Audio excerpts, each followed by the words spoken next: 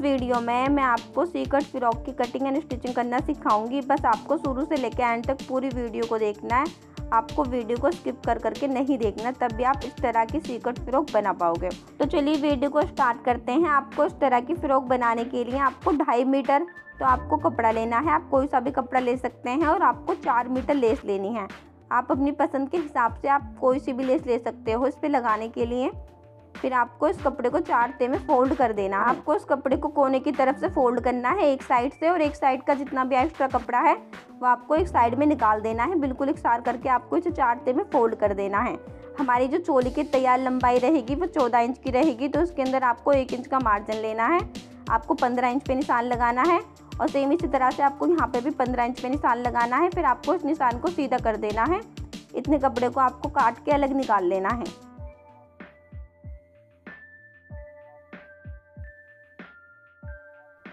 आपको सबसे पहले यहाँ पे शोल्डर के निशान लगाने हैं तो आपको सात इंच पे निशान लगाना है शोल्डर का। फिर आपको इस निशान के नीचे इंच टेप को रखना है और आर्म होल के लिए आपको साढ़े छः इंच तक एक सीधा निशान लगाना है। आपको इस निशान के नीचे इंच टेप को रखना है, यहाँ पे आपको चेस्ट के निशान लगाने हैं। आपकी जितनी भी चेस्ट है, आपको उसका चौथा हिस्सा यहाँ पे लेना है और उसके अंदर आपको डेढ़ इंच का मार्जिन लेना है, सिलाई के लिए। मैं करके दिखाती हूँ, जैसे कि हमारी चेस्ट है चौंतीस, अगर हम चौंतीस का चौथा हिस्सा निकालेंगे तो हो गया साढ़े आठ। तो मैं यहाँ पे साढ़े आठ इंच पे निशान लगाऊँगी और इस निशान को सीधा कर देना है आपको आर्म होल वाले को। फिर इस निशान पे आपको इंच टेप को रखना है और आपको डेढ़ इंच का मार्जिन लेना है सिलाई के लिए। फिर आर्म होल वाले निशान पे आपको इंच टेप को रखना है और लंबाई में आपको सात इंच पे निशान लगाना है। यहाँ पे आपको कमर के निशान लगाने हैं, जितनी भी आपकी कमर है, आपको उसका चौथा हिस्सा लेना है। कमर है हमारी तीस तो मैं यहाँ पे साढ़े सात इंच पे निशान लगाऊँगी और डेढ़ इंच सिलाई के लिए मार्जिन फिर आपको इन निशानों को आपस में मिला देना है। फिर आपको इसके आर्म होल पे आना है। यहाँ पे आपको पौन इंच पे एक निशान लगाना है और इस तरह से पौन इंच लेके आपको इसके आर्म होल की गोलाई कर देनी है। फिर आपको यहाँ पे गले पे आना है। जो आपको गले की चौड़ाई रखनी है, वो आपको ढाई इंच रखनी है और जो आपको गले की लंबाई रखनी है, वो आपको तीन इंच रखनी है। आपको एक चौकोर बॉक्स बना देना है। ढाई इंच चौड़ा और तीन इंच लंबा।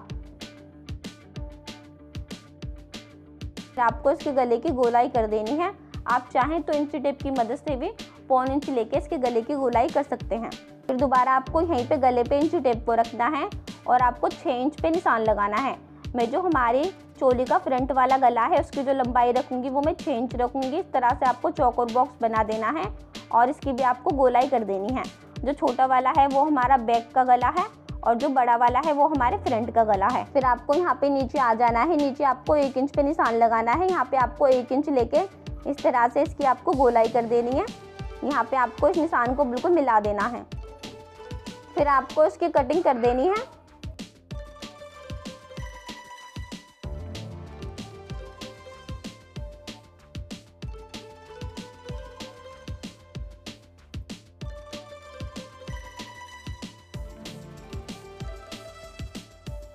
कटिंग करने के बाद आपको इसके अंदर से एक पार्ट निकाल के अलग रख देना है। ये हमारा बेक वाला पार्ट रहेगा चोली का और ये जो निशान लग रहे हैं, इस पार्ट को आपको बिल्कुल इकसार करके बिछा लेना है। ये जो हमने गले की लंबाई बढ़ाई थी, इस निशान पे आपको इसकी कटिंग कर देनी है। ये हमारी चोली का फ्रंट वाला पार्ट रहेगा तो गले की तो कटिंग हो चुकी है, फिर जो इसके आर्म होल है, इसकी आपको गोलाई कर देनी है। आपको आधे इंच अंदर की तरफ़ को इसकी कटिंग करनी है और ये जो मार्जिन का निशान है यहाँ आपको मिला देना है।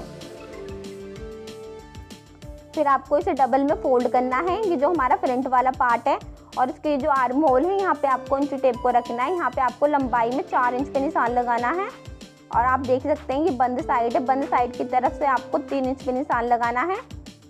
चार इंच वाले निशान को आपको तीन इंच वाले निशान से मिला देना है। देखिए इस तरह से आपको इसे मिलाना है। फिर इन निशानों को आपको आपस में मिला देना है। तो हमारे निशान एक साइड में लग चुके हैं। फिर आपको इसे खोलना है। और आपको इस तरह से इसे डबल में फोल्ड कर देना है ताकि हमारे जो निशान है, वो हमारे दूसरे साइड में भी छप जाएँ। इस तरह से आपको इसे करना है कपड़े को। मैं आपको खोल के दिखाती हूँ। ये देखिए हल्के हल्के निशान हमारे साइड में भी आ चुके हैं। फिर आपको चौक की मदद से इन निशानों को गहरा कर देना है। हमारी चोली के बैक वाले और फ्रंट वाले दोनों पार्टों की कटिंग हो चुकी है। मैं इसे साइड में रख दूँगी। फिर आपको बाजू की कटिंग करनी है। तो बाजू की कटिंग के लिए मैंने ये कपड़ा काट के अलग निकाल लिया है।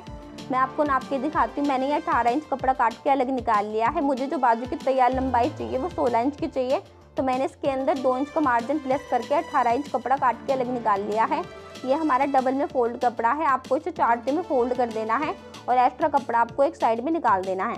मैं आपको इंच टेप से नाप के दिखाती हूँ। मैंने कितने कपड़े को चारते में फोल्ड करा है। ये साढ़े आठ इंच है। मैंने साढ़े आठ इंच कपड़े को फोल्ड करा है। जितना भी हमारे चेस्ट का चौथा हिस्सा था मैंने अपने कपड़े को यहाँ पे फोल्ड करा है।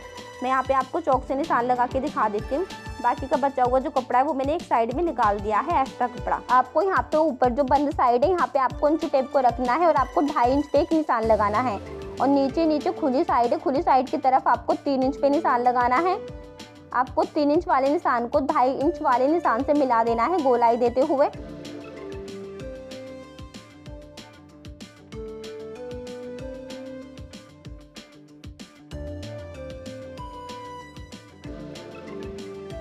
फिर आपको यहाँ पे आना है। यहाँ पे आपको मोहरी के निशान लगाने हैं। जितनी भी आपको तैयार मोहरी चाहिए, वो आपको यहाँ पे लेनी है। तो मुझे पाँच इंच की चाहिए तो मैं यहाँ पे पाँच इंच पे निशान लगाऊँगी और डेढ़ इंच का आपको इसके अंदर सिलाई के लिए मार्जिन लेना है।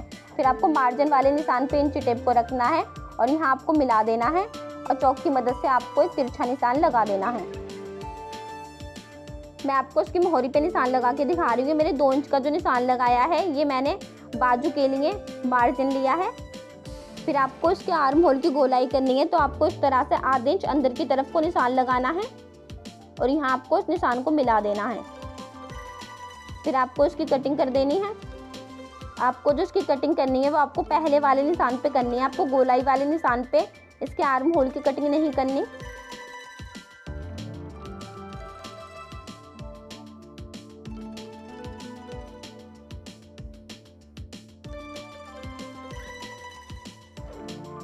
इसकी कटिंग करने के बाद आपको इसे खोलना है और ये दो ते जो हैं इन्हें आपको पकड़ के रखना है और ये जो हमने चौक की मदद से निशान लगाए थे, इसकी गोलाई करी थी हमने बाजू की, इस निशान पे आपको इसकी कटिंग कर देनी है।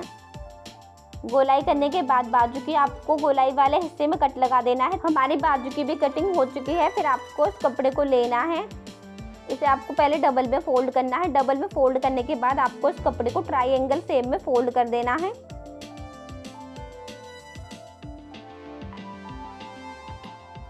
मैंने इस कपड़े को फोल्ड कर दिया है, मैं आपको दिखाती हूँ। देखिए, ये दो ते तो हमारी खुली हुई हैं और ये दो ते हमारी बंद हैं। आपको यहाँ पे आ जाना है, ऊपर यहाँ पे आपको कमर के निशान लगाने हैं।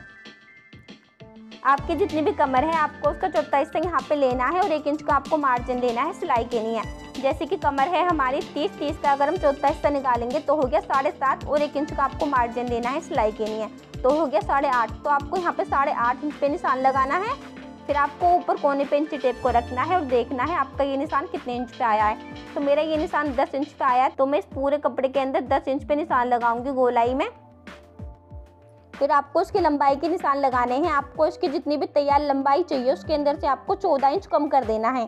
क्योंकि चौदह इंच की हम इसके अंदर चोली अटैच करेंगे तो उसकी लंबाई चौदह इंच बढ़ जाएगी। तो मुझे जो इसकी तैयार लंबाई चाहिए, वो मुझे तीस इंच की चाहिए तो तीस के अंदर से मैं चौदह इंच कम कर दूँगी। तो बचा सोलह इंच। और 16 इंच के अंदर आपको दो इंच का मार्जिन लेना है, सिलाई के लिए। तो हो गया 18 इंच। मैं यहाँ पे 18 इंच पे निशान लगाऊँगी। फिर आपको इंच टेप को ऊपर करना है, कोने पे। आपको फिर नापना है, ये निशान हमारा कितने इंच पे आ रहा है। तो ये निशान मेरा साढ़े सत्ताईस इंच पे आ रहा है। तो मैं इस तरह से इस पूरे कपड़े के अंदर गोलाई में साढ़े सत्ताईस इंच पे निशान लगाऊँगी।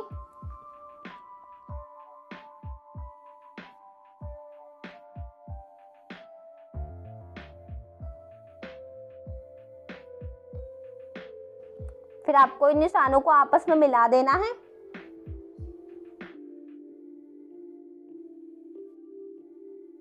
फिर आपको यहाँ पे इंच टेप को रखना है। ये जो बंद साइड है, यहाँ पे आपको इसकी जो लंबाई है, वो आपको सात इंच बढ़ा देनी है।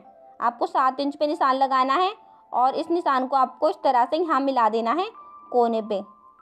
मैं आपको करके दिखाती हूँ।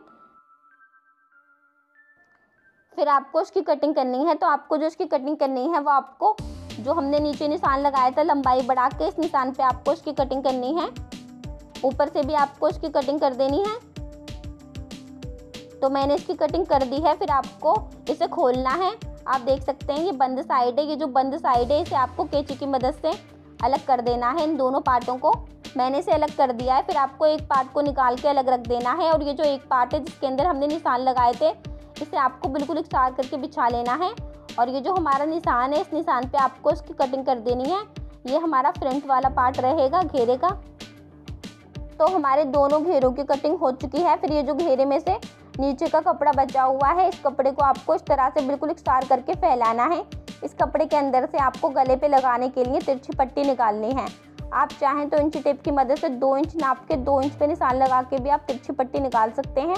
इस तिरछी पट्टी से हमारा गला बड़ी ही फिनिशिंग के साथ बन के तैयार होगा और उसके अंदर बिल्कुल भी झोल नहीं आएगा। तो मैंने ये तिरछी पट्टी इस कपड़े के अंदर से निकाल ली है। फिर आपको फ्रंट वाले पार्ट को लेना है, चोली का जो है, और इस तिरछी पट्टी को आपको डबल में फोल्ड करना है। इसे आपको यहाँ पे रखना है गले पे और उसके अंदर आपको सिलाई लगा देनी है। फिर इसी तरह से रखना है और सिलाई लगा देनी है। सेम इसी तरह से आपको ये तिरछी पट्टी पूरे गले पे लगानी है। इस पूरे गले पे तिरछी पट्टी लगाने के बाद आपको उस तिरछी पट्टी को पीछे की तरफ़ को पलट देना है और इसके अंदर आपको सिलाई लगा देनी है। सेम इसी तरह से आपको जो इसका बैक वाला पार्ट है, उसके गले पे भी तिरछी पट्टी लगानी है।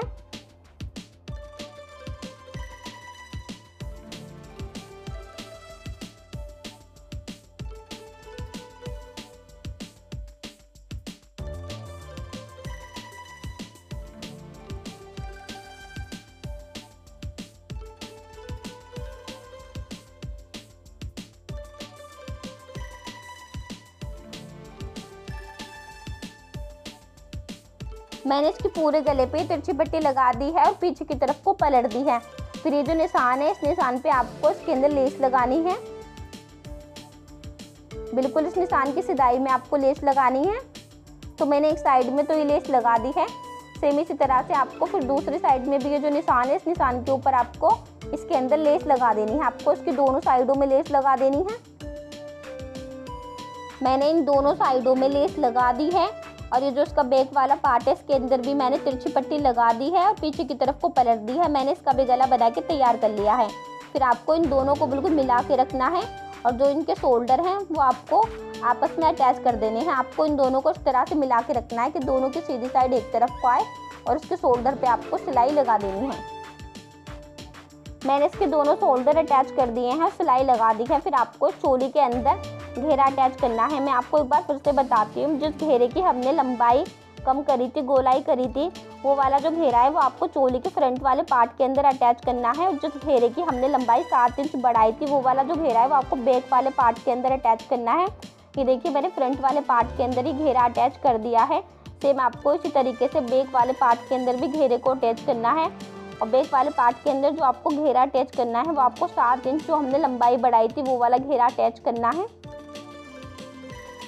मैंने चोली के अंदर घेरा अटैच कर दिया है, दोनों तरफ़ घेरा अटैच करने के बाद आपको इसकी फिटिंग के निशान लगाने हैं। फिटिंग के निशान लगाने के लिए आपने जब इसकी कटिंग करी थी, आपने डेढ़ इंच का या दो इंच का जितना भी मार्जिन लिया था, आपको वो मार्जिन निकाल देना है।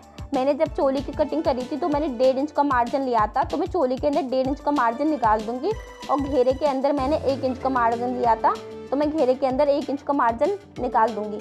तो मैंने एक साइड में निशान लगा दिए हैं। फिर आपको इसे इस तरह से डबल में फोल्ड कर देना है।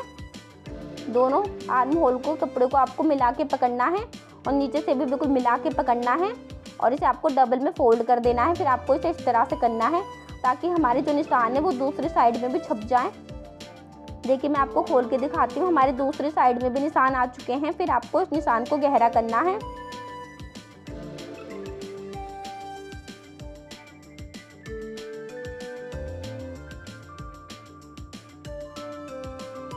और इन दोनों पार्टों को आपको बिल्कुल मिला के पकड़ना है और इस निशान पे आपको इसके अंदर दोनों साइडों में सिलाई लगा देनी है।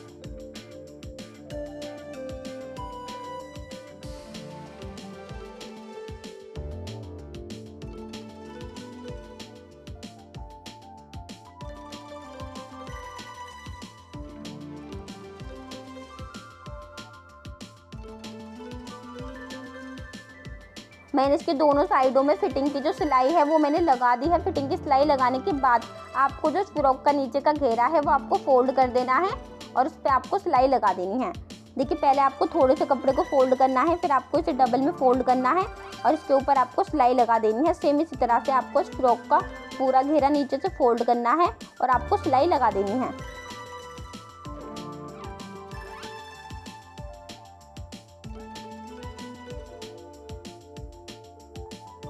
मैंने इसका पूरा घेरा नीचे से फोल्ड कर दिया है। फोल्ड करने के बाद आपको लेस को लेना है। थोड़ी सी लेस को आपको डबल में फोल्ड कर देना है और यहाँ पे रखना है किनारी पे। और इसके अंदर आपको सिलाई लगा देनी है। इसके पूरे घेरे पे आपको ये लेस लगा देनी है।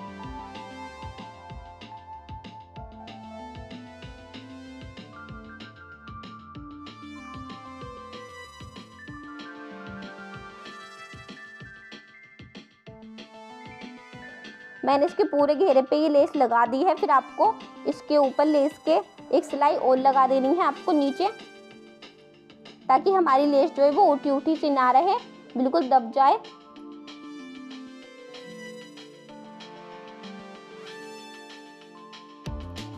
मैंने इस लेस पे डबल सिलाई लगा दी है। फिर आपको बाजू वाले कपड़े को लेना है, इसे आपको मोहरी की साइड से फोल्ड करना है डबल में इस तरह से। और इसके अंदर आपको सिलाई लगा देनी है। तो मैंने इसकी पूरी मोहरी फोल्ड कर दी है। मोहरी फोल्ड करने के बाद आपको इस सिलाई के ऊपर लेस लगा देनी है। मैंने इस बाजू की जो पूरी मोहरी है, इसके अंदर मैंने लेस लगा दी है। लेस लगाने के बाद आपको इस बाजू को डबल में फोल्ड करना है और आपको इसकी फिटिंग के निशान लगाने हैं। आपको इसके आर्म होल पे इंच टेप को रखना है लंबाई में आपको सात इंच पे निशान लगाना है। हमारी चेस्ट का जितना भी चौथा हिस्सा आता है, जैसे मेरी का आया था साढ़े आठ उससे आपको एक से डेढ़ इंच कम करके इसके आर्म होल पे निशान लगाना है। फिर आपको मोहरी के निशान लगाने हैं तो मैं मोहरी पे पाँच इंच पे निशान लगाऊँगी और इंच टेप को आपको इस तरह से करना है, तिरछा करके और इस निशान को आपको लगा देना है। फिर इस निशान पे आपको इसके अंदर सिलाई लगा देनी है। मैंने इस बाजू के अंदर फिटिंग की सिलाई लगा दी है। फिटिंग की सिलाई लगाने के बाद आपको इस बाजू के अंदर बिल्कुल बीचा बीच में कट लगा देना है, ताकि हमें बीच का सेंटर पता चल सके। आपको फ़्रॉक को लेना है, ये देखिए इस फ्रॉक के अंदर मैंने एक साइड में ये बाजू अटैच कर दी है और इसके अंदर बिल्कुल भी झोलनी है। काफ़ी फिनिशिंग के साथ हमारी बाजू लगी है। मैं आपको दूसरी साइड में लगा के दिखाती हूँ, आपको किस तरह से लगानी है। आपको फ़्रॉक को तो उल्टा करना है और बाजू को आपको सीधा करना है। और जो इसका बीच वाला कट है, जो हमने बाजू के अंदर लगाया था, इस कट को आपको इसके ये जो शोल्डर की सिलाई है, इस सिलाई के बिल्कुल नीचे रखना है, मिला के रखना है। आपको इन दोनों को, आपको इसके अंदर यहाँ से सिलाई लगानी स्टार्ट करनी है। दोनों कपड़ों को आपको बिल्कुल मिला के पकड़ना है।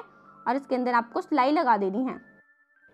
बाजू अटैच करते वक्त आपको ध्यान रखना है कि आपने बाजू की जो गोलाई करी थी, वो गोलाई वाला हिस्सा आपका फ्रंट वाले पार्ट की तरफ़ को आना चाहिए चोली के। देखिए, नीचे हमारा डेढ़ इंच का मार्जिन है जो हमने चोली के अंदर लिया था। मार्जिन वाले कपड़े को आपको इस तरह से तिकोनी सेप में फोल्ड कर देना है। और ये बाजू वाला मार्जिन है, ऊपर का जो है, इसे भी आपको तिकोनी सेप में फोल्ड कर देना है। और इसके अंदर आपको सिलाई लगा देनी है। अगर आप इस तरह से सिलाई लगाओगे तो आपकी बाजू के अंदर बिल्कुल भी झोल नहीं आएगा, काफ़ी फिनिशिंग आएगी।